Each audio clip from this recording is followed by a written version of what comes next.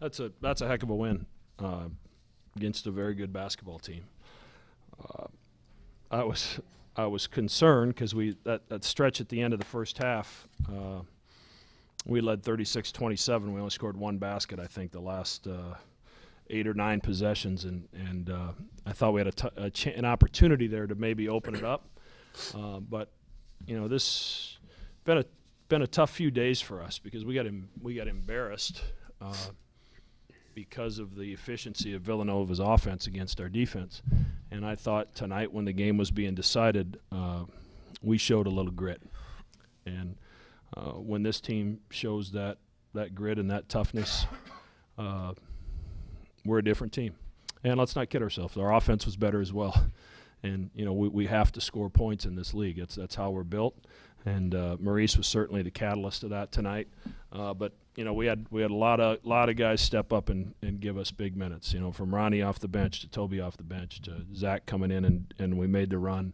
Uh, James was great the first half. Uh, so, uh, you know, I played more guys, tried to get guys some rest tonight. Uh, and fortunately, it worked out. Questions from the student athletes? Maurice, there was a point, uh, last five minutes of the second, or first half and the first five of the second half where I think you only managed nine points in an eleven minute stretch and they got a little bit of a lead there. After that, looked like you kind of settled in to a pretty good rhythm out there. What, I guess, what happened once they got the lead that you kind of just flipped the switch? Well, you know, uh, you know, we credit Georgetown. You know, they're, you know, they're experienced, and you know, they're one of the, um, the premier teams of this league. Um, and you know, they stayed solid, and you know, they they did what they did. You know, and we didn't make shots. Uh, but you know, what I wanted, you know, to tell my team, and you know, what Coach Mack preached us is that we're not going to make every shot. You know, but we have to defend, and we can't let our our offense dictate our defense. And a lot of times, that's what we do. And if we and if we miss shots, um, it tends to take away from our tenacity on defense you know, we kind of settled down, and then uh, our crowd got into it, and you know, that's what made us get hype. Uh, so you know, our crowd got us pumped up, and I think that's what uh, propelled us to that, you know, to to go on that run. Zach mentioned that, uh, the good contributions you guys got from players off the. I guess just talk a little bit about that and your, your own contribution. Uh, I mean, we always talk about how you know we have so many guys that can step up, and uh, you know I, I think a lot of people stepped up tonight, and uh, you know my job personally, and you know everybody that comes off the bench, you know when we get you know called in to go in, you know we got to bring a lot of energy and uh, be able to execute, and that's all we try to do. I guess Zach, there was a lot of, obviously when you give up a two-point percentage like you did against Villanova, that's gonna be a main focus coming into today. I think, you got rebounded by five, you're within two on the points in the paint. I guess what's, what, uh, kind of adjustments did you guys make as far as defending, you know, the ball screens and kind of being tougher in that area? Uh, I mean, you know, this last week and just kind of over the last few weeks, you know, we've talked as a team that, uh, you know, if we're going to get to go where we want to go, defense is going to be, you know, it's going to be the key. So, you know, I think just every week in practice as we, you know, work on defense and rebounding and improving, you know, I think that we're just going to have more and more success. So that just has to be the key for us. Um, I guess, uh, tonight you got twenty-five points off turnovers, off their fifteen turnovers. When you talk about the, kind of the connection the defense has to make with the offense, is that something that you guys kind of highlighted as far as when you do get turnovers, turning it into quick baskets and kind of getting yourselves fired up that way? You know, we're a transition team. you know, so we so we preach, you know, stop, uh, stop, score, stop, score, uh, and and and we can't get out in transition if we don't get stops. So you know, we had active hands tonight, and uh, you know, Isaiah was great. You know, he had a lot of hands. Uh, you know, uh, deflect some passes, uh, and you know, we were able to get off to the races. Um, and when we can put pressure on the defense that way, uh, it forces them to make decisions to you know to stop me in transition or uh, to give up open three. And I think that's what makes us tough. So when we're locked in on defense like that and we can get out in transition, I think it makes us um, a tough team to guard.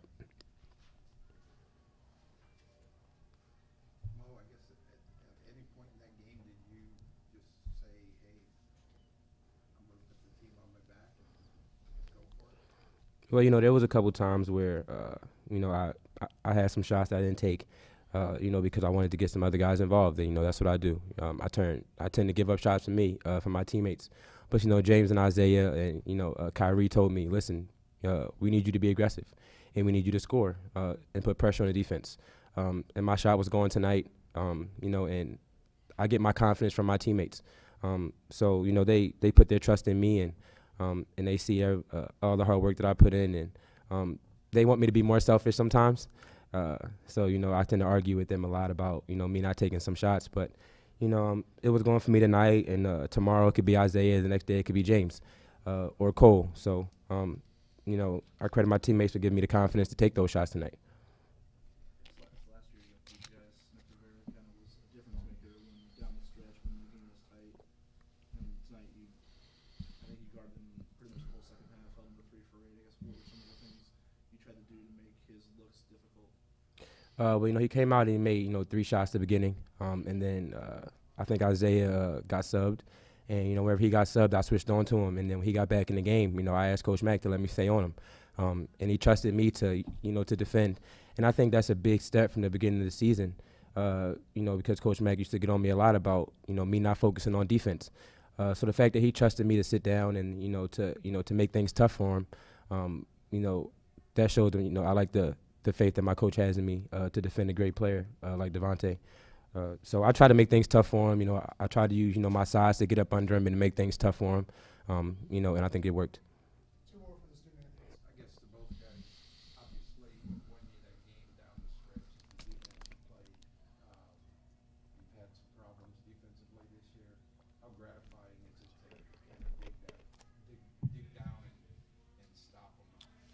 Yeah, I mean, uh, we talked in the locker room about how you know in those last uh, six seven minutes, you know, we really defended at our best, and uh, I think we just kind of proved to ourselves that.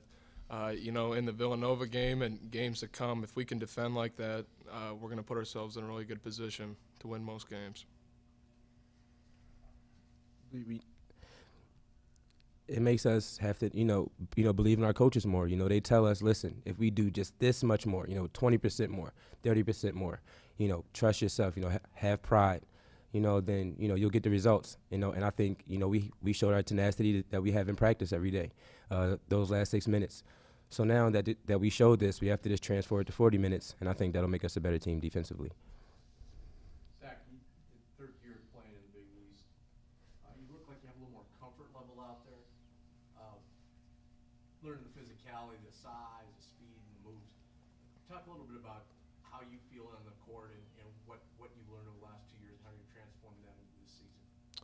Uh, yeah, I mean, I've just kind of, you know, from last year to this year, you know, I've just kind of simplified things. I've just realized that, you know, if I'm out there and I play hard and I have fun, uh, most of the time, good things are going to come from that. So that's usually just what I focus on. I try to be as locked into what we're doing and then just play hard, and uh, usually whatever results from that's going to be good. Thanks, guys.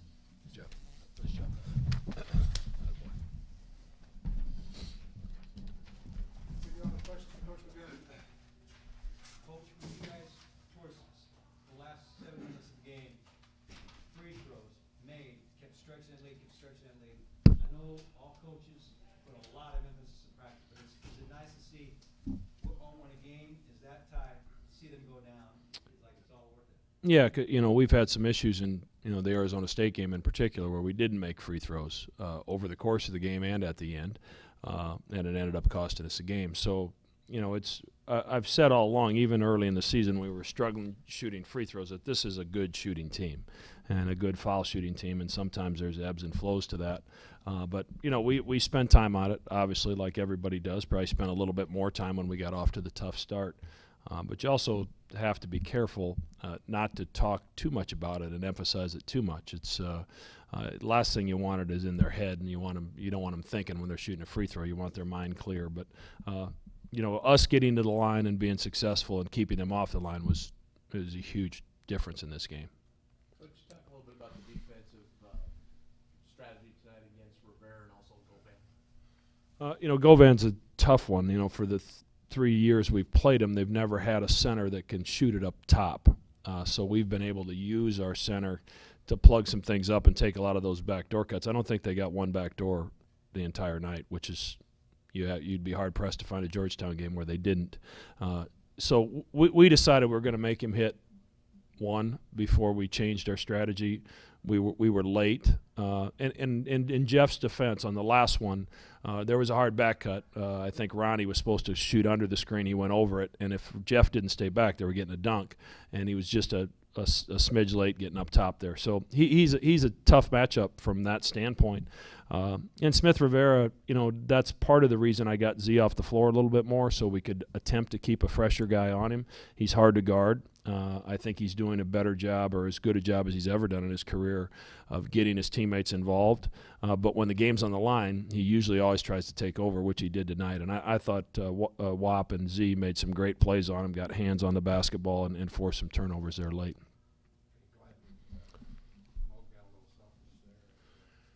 You, know, I think he made, uh, for, for the most part, you know, I got to go look at the film, but uh, I think he made the right reads. You know, I, I'm not sure they were leaving shooters uh, on a regular basis, especially when we get off to that four for five start.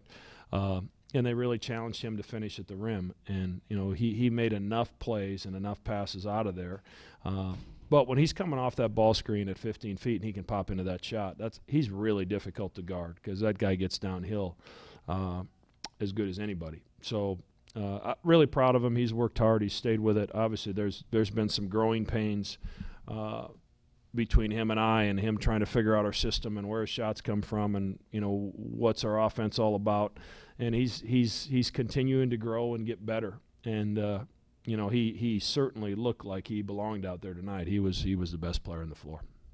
I guess kind of maybe put Targaryen's back willingly with kind of the chip that he has on his shoulders in general, but I know tonight when you know you guys were kind of struggling offensively over that 11 minute stretch where they took the lead, when you were up nine, he kind of just kind of carried things, kind of flipped the switch. I guess there's really you just kind of try to stay out of his way. or something like that has happened? Well, you, you try to give him space, and then you give him space, and then he's got to make decisions. And you know, for the most part, uh, he- made good decisions. And you know, he's still spraying it and making some good decisions. We didn't make threes uh, at the rate that I think we're capable of. If you'd told me they were going to make 11, we were going to make eight, I would have guessed we might have been in trouble. Um, but he, he's picking his spots. You know, thir- you know, 27 points on 13 shots is pretty efficient basketball. Uh, and, and then, you know, I told him walking down here, the seven rebounds is huge. You know, just being able to have your point guard get that rebound and start your break, there's no better fast break in the world. Uh, and, you know, Austin got good at that last year where he'd go in and clean up uh, after the big guys had sealed. And, and uh, I thought Maurice did a good job of that tonight. I guess the 27 points are obviously going to stand out, but in the second half he holds Smith Rivera to nine points on eight shots. I guess what what transpired as far as the conversation between you and him about when to switch on him and you know what he was going to do to him defensively. Well, we, when Campbell was in the game, uh, we were going to have him on Campbell and and uh, Isaiah on on Smith Rivera. Uh, number one to keep Maurice out of foul trouble. Uh, we have obviously more depth at the two than we do at the one. Uh, so, but when they went bigger, it was difficult. They were going to run him into the post on Copeland or one of those guys or Peak if we put him on there. So we pretty much had to put him on Smith Rivera uh, when they went with that lineup and then he was he was doing a good job on him. So when they went back in, I just decided to leave him there, and and you know we had a couple switches where Z switched on him, Toby switched on him a couple times. They did a great job. Jeff stayed with him on a ball screen late uh, when Wap got hit up top on the ball and got almost got knocked down. So it, that that last six or seven minutes, our team defense was really good. Mean, we had guys in the right spot doing the right things, and you know then we finished it with a rebound. Guess what, considering what transpired Saturday night, how gratifying is it to you to see this team come back and get some stops when really needed leads? You know, I was disappointed in, in our performance Saturday, but you know, as you as you go back and watch the film, uh, we, we had some matchup nightmares in that game, and and to to Jay Wright's credit, he he he pretty much tried to exploit it almost every time. So, and they, they have the experience to do that. You know, they have the guys that, that have been around enough that they can do that. Um, and you know, and then they they got some shots at the rim, but they also had a lot of 17 to 12 footers with hands in their face, and it was one of those nights. Uh, and we were also five of 23 from the three. So as time went on, and I and I probably had a chance to really absorb what happened. Uh, I was careful not to push a panic button. You know, it, it, we're we were be- we're better than that defensively. We're better than that offensively, and yet it was a six or seven point game with nine minutes to go.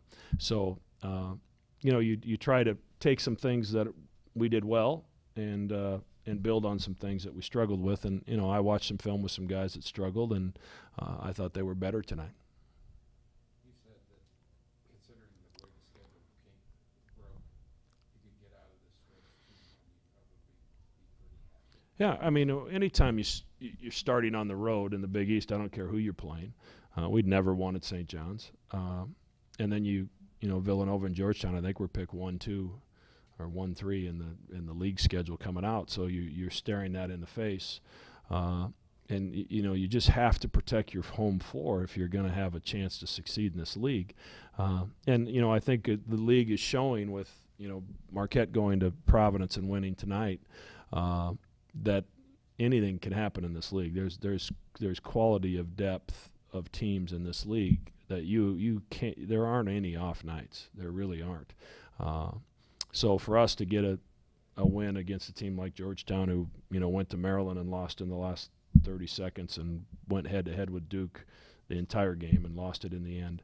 Uh, it, it's it's a great win for us, and it's a it's a confidence builder, and especially the way it happened you know, for us, they only I know scored on two of their last 13 possessions, and the confidence that our guys can gain from being able to do that against a good team, hopefully, can again help us to slowly move this group forward.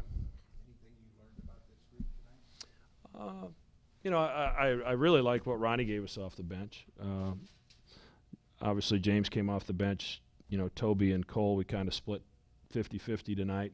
Um, and, you know, neither of them had as good of offensive game as, as they're capable. And then, you know, Zach continues to do good things. So, um, you know, I'm gaining more confidence in our bench. I don't think that probably James and Ronnie have played hardly any minutes at the two and three together this year. And they were out there for a good stretch in the first half, and some good things happened. So, uh, you know, hopefully that gives them more confidence and, and more of an eagerness to continue to work and get better uh, on the practice floor. And, and certainly as a coaching staff, it gives us a, a little bit more comfort level uh, when you see things happen that transpired tonight. Did 25 points off their 15 turnovers. They only got 10 off your nine. I guess when, when you were talking about in the past about bringing the defense up to, you know, closer to that offense's level, as far as when you get a chance to kind of get some quick points like that, how big is it to, you know, capitalize on it? It's huge. It's it's it's really important. You know, to any any offense we can create with our defense is it's a bonus. We're not the longest, biggest team in the world, so we're, we don't get a lot of length and athleticism type turnovers that we force. Ours need to be more uh, intelligent turnovers. You know, Isaiah leads us in steals, and it's not because he's running and jumping that fast. He just he anticipates. Uh, so you know that was huge, but you know, I, I was looking today, I was comparing a little bit the last couple years. You know, last year at this time, after 15 games, we were shooting a little over 41% on offense, and we were giving up 43.4%. This year, we're shooting 50%, giving up 45%. Which is worse? You know, I, you know, we've got a chance to improve the defense. Sometimes you either have offensive players or you don't. Uh, so I, I think we can work and continue to get better on the defense. But you know, when you can't score, uh, you can pull your head out, hair out all day trying to figure out ways to get baskets, and they're hard to come by. Uh, Doug's senior year, I think at this point in the season, we were giving up 41%, and we were shooting 47 or 48%. So the, it was a five or six percent difference, just like it is now. So we need to continue to grow our offense and, and continue to be, you know, nine turnovers against Georgetown's pretty darn good. Um, and then just just slowly, you know, as I've told the team, we, we don't necessarily need to thrive defensively. We need to survive defensively. And if we can do that and, and keep our offense moving forward and, and keep playing together, uh, you know, we're going to have a chance to have more nights like this. Anything else? Thank you.